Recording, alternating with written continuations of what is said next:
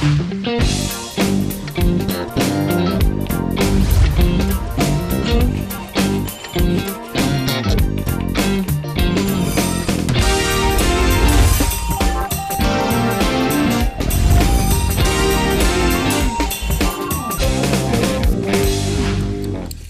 Monika, wie geht's weiter?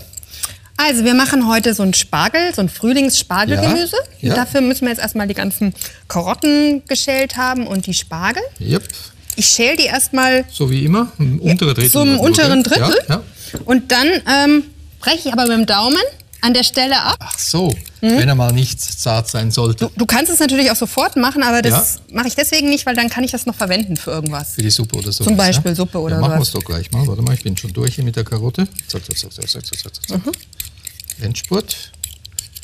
So, also unteres Drittel. Ja? So, Genau. also geschält ist es. Und, jetzt machst dann, du was? Und dann spürst du, dann, äh, du müsstest, kannst ja selber auch noch mal ein, dann spürst Ja. du richtig, wenn du hier lang gehst, spürt man richtig die Stelle, zack. Und das ist Ah, die wo sie Stelle. hart ist. Und dann bricht es ab und das Harte bleibt weg. Bei mir ist alles weich. Zack, wunderbar. Genau. Ja, Während du weitermachst, zeige ich dir nur einmal, wie ich die Karotten will. so leicht schräg So. sieht's toller aus. Ja, genau. So, Ja, ja. weiter lasse ich dich. Und du machst Kräuter. Ja. Mei, was hast du denn da für Gestrüpp alles? Das sieht ja aus wie eine Wiese. Das ist von der Wiese. Ja, erzähl mal, was ist das? Also, das habe ich heute Morgen ähm, bei mir vom Haus auf der Wiese gepflückt. Hab's doch gewusst. Das ist ähm, Spitzwegerich. Das schmeckt auch, das hat einen leicht herben Geschmack. Das schmeckt Ja. auch wirklich lecker im Essen. Ja? Und hier habe ich noch eine kleine Brennnessel. Die schmeckt auch. Brennnessel. Ja, warum kannst du die anfassen? Könnte ich jetzt nicht. Ja gut, jetzt, jetzt habe ich sie am Stiel. Ja? Aber wenn man sie essen will, dann muss man sie blanchieren. Muss man Wasser drüber Heißes schütten. Wasser. Heißes Wasser und dann geht das Brennen weg. Ah, ja. Wenn du hier so fleißig bist, muss ich auch mal loslegen. Ich Und die schnippelst du einfach klein jetzt. Ne? ganz, ganz fein. So wie Schnittlauch oder Petersilie. Mhm. Genau, und dann auch den Spargel und die Karotten, alles so. So schräg schnippeln, gell? Mhm. Super schräg, hast du gesagt, gell? So Super schräg. super Kannst ruhig ein schräg. bisschen dicker bleiben. Das passt schon so. Guck, das passt schon. Ah ja. Aha. Ich pack, pack das richtig fein, weil der ist auch relativ hart von der Konsistenz. Ja. Also dann ist es schöner, wenn man ein bisschen fein hat. So, und die Spargel willst du wie? Auch schräg? Nee. Doch, doch. Ah, ja. Aber wichtig ist halt die Spitze nicht, Lassen, mit, ne? nicht mitschneiden. Genau, Ja. und jetzt stopp. Stopp. Das lassen wir übrig. Genau. Ja, okay. Liebe Zuschauer, Sie sehen, bei uns ist schon alles voll im Gange. Wunderbar schöne grüne Spargel. Genau. Was soll ich dann mit den Schnibbeln hier machen? Einfach mal ähm, in den kleinen Topf. Ja, Alles kannst du schon direkt reintun. Und ich hole Ja. mal Margarine aus dem Kühlschrank. okay. Ich habe noch so einen Rest. Das ist Kartoffelpüree von gestern. Ah ja. Und da machst du was damit? Da werde ich jetzt das verwenden. Ah ja, Kannst du einfach großzügig, großzügig. großzügig ein Stückchen nehmen. So viel? Ja, und Voilà. einfach rein. Kannst du direkt alles Die reinmachen. ganzen Sachen. Gar nicht warten. Ja. Da kann nichts passieren. Da kann nichts passieren. Wir machen nämlich jetzt noch einen kleinen Schluck Wasser dazu, aber ich Aha, nur ja. mini. Und nur einen Mini-Schluck Wasser. Ja. Das war ja fast nur ein Esslöffel, hm? Ah, okay. Nehmen wir noch einen zweiten Esslöffel. Gut. Und dann Salz, Pfeffer ein bisschen drauf Ja. und Deckel zu. Und dann lassen wir das für sich alleine ruhen. Ja, aber das ist ja simpel einfacher. Also Spargel äh, muss überhaupt nicht aufwendig sein, Ah, ja. wirklich nicht. Ja, du, das kann ja sogar ich das, noch. hier. das will ich meinen. Also ich mache jetzt wirklich nur den Deckel zu. Fertig. Fertig. Kleine Ende. Flamme. Kleine große Flamme? Kleine Flamme. Ah, du kannst gleich hier weiter loslegen. Das sind getrocknete Tomaten Ja. Ja. und die passen halt super gut zusammen mit, mit diesem Spitzwegerich. Eins, und währenddessen- zwei, drei, vier. Würze ich hier unseren Teig schon mal Da wir dasselbe essen, mache ich sechs. und einfach mal mit quer drüber hacken. Einfach mal so. So. Perfekt. Einmal kreuz, einmal quer. Perfekt, genau. Und schau mal hier, Das ist ja Grießbrei. das ist äh, Hartweizengrieß. Ja? Hartweizengrieß. Den mache ich jetzt einfach mit rein. Ach so, statt ein Ei. Für normale Kroketten nimmt man ein Ei. Gell? Genau, genau, Ah, ja. statt ein Ei. Und das bindet mir. So, willst du es schon haben? Einfach rein. Genau. Das ist ja gut. Und jetzt tut mir herzlich leid, muss ich das in Handarbeit erledigen. Ja, hast du schon die genügend Kräuter drin? Ah, du kannst mir noch ein bisschen hacken, während ich Ja. hier schon mal gucke, ob ich die richtige Konsistenz habe. Ich mache noch was, damit die wirklich nicht so matschig werden, sondern schön fest. Aber mit den Händen merkt man natürlich genau. Dann merkst du passt. genau, wie es passt. Soll ich schon die Bratpfanne auf den Herd stellen? Ja, unbedingt. Noch zu früh? Nee, nee, kannst schon, Okay. schon machen. Also ich krieg die halt nicht so fein wie du. Das passt schon, kein Problem. Da habe ich ja Glück gehabt. so, rein damit. Rein damit. Genau, dann kannst Und du schon mal Portion.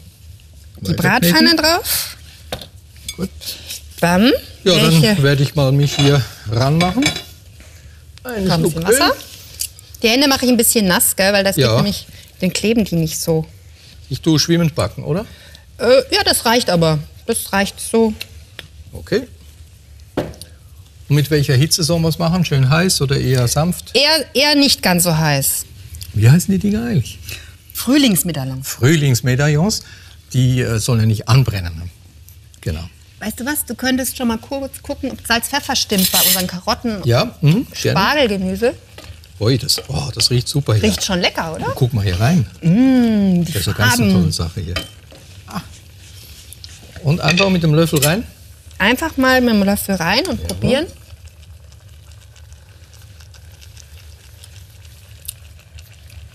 Exquisit. Aber auch Gell? Pfeffer ist genug, ein bisschen Salz bräuchte noch.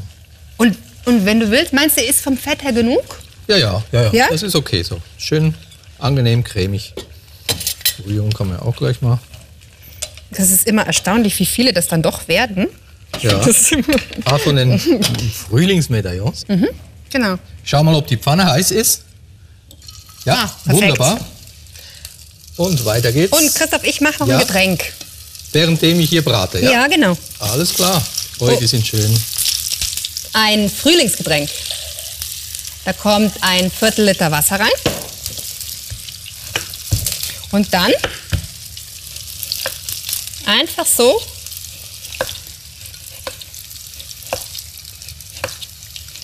eine Zitrone. Ja, was du schälst, das Ja, so geht's am schnellsten. Viertel Liter Wasser, eine geschälte Zitrone. Zack. Genau. Und Ja? dann brauchen wir noch Petersilie. Kommt jetzt Ui, einfach hier rein. Ja, wie viel war denn das? Ein ganzer Bund, oder? Das war ein Bund. Man weiß nicht, wie viel Gramm das ist, aber einfach ein Bund war das. Ja. Aber funktioniert.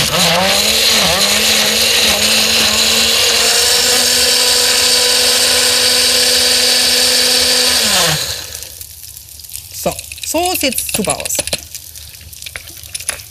Also, jetzt brauche ich nun mal hier die Anzeige, weil ich habe jetzt ein Viertel Liter Wasser drin, die Zutaten und bin jetzt ungefähr hier angelangt und ich möchte jetzt noch Aber im knappen halben Liter, oder? ja, aber ich möchte jetzt noch ein Viertel Liter, also gehe ich einfach bis dahin, Ja. ein Viertel Liter ähm, Ananassaft. Und dann noch ein Schuss Holunderblütensirup, der ist ohne Zucker. Und jetzt ist das schon fertig, das Getränk. Oh, du warst ja viel schneller als ich. Ich bin hier immer noch dran. Du. Keine Panik, ich muss noch abgießen. So, du. Das ist wirklich ein Wunder hier. Aus altem Kartoffelpüree sowas Schönes. Mhm. Und der Grieß bindet wirklich wie Ei. Also wozu ein Ei, wenn es mit Grieß auch geht?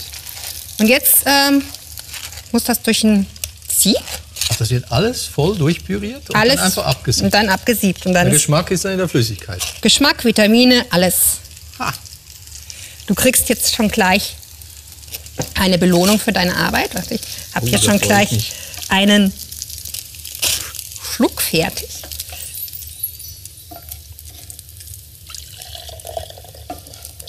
Naja. Ui, das sieht ja auch toll aus. Das gefällt mir. Das ist toll. Sollen wir schon gleich mal einen Schluck Ja, genießen? ist fast gefährlicher. Richtig Ja. giftig sieht das aus. Ha? Also, noch Chin Chin. Mm, Aber das duftet. Herzlichen Dank, Monika. Machen Sie es nach. Probieren Sie es. Mm. Das ist echt super. Ha. Oh, du hast aber, ich habe richtig Hunger schon auf unser Essen. Können wir das gleich fertig? Ah, na klar. Also, diese super schönen Frühlingsmedaillons. Ich lege schon mal aus den Kräutern die Soll ich haben. die irgendwie speziell jetzt Einfach vielleicht so nebeneinander, aufeinander, schräg. So ist doch schön. Ja, passt das schon? Passt doch. Wunderbar. Und hier haben wir so ein kleines Frühlingskräuter. Das sieht ja toll aus. Und jetzt brauchen wir nur noch Von unseren super Spargelsachen. so. Das sieht echt toll aus. Wie knallgrün der wird. Ne? Ja. Und das ist echt total. Ja. Ach, das sieht einfach schön aus, Moni. Das ist fast zu schade zum Essen. Ich bräuchte noch ein bisschen Mayo dazu. Okay. Ich habe hier noch so eine eifreie Mayo. Okay. Aber Ich mache sie noch ein bisschen nett. Ah, so ein bisschen. Ich mache mal noch so ein paar Nöckchen. Eieiei, schau dir mal Soll das ich denn die an. hier hinsetzen? Da vielleicht. So was. Wie Nocken. Nocken setzen. Ja, jetzt aber. Geschafft. Liebe Zuschauer, wir legen jetzt los. Ich bin sehr neugierig Ja, auf diese Spargel, die sehen gut aus. ha? Ich, und ich auf die hier. Liebe Zuschauer, wir verabschieden Sie hier schon einmal, währenddem wir uns hier noch ein bisschen ranhalten. Es schmeckt so lecker. Kochen Sie es zu Hause nach, freuen Sie sich über diese einfache Art zu kochen und wir wünschen Ihnen viel Spaß dabei. Auf Wiedersehen, bis zum nächsten Mal.